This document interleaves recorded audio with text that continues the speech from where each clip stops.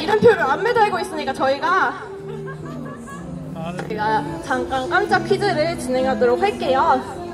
지금 여기 양갈래 머리를 하고 있는 친구의 이름을 아시는 와 빠르셨어요. 아, 채원이 맞아요. 네, 그러시면 또 다음은 이제 내일 16일이 생일인 멤버 이름 아시는 분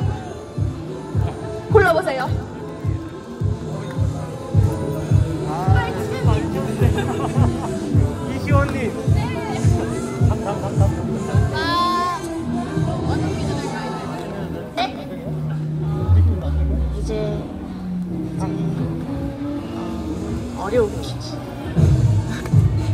뭐가 좋을까요? 어...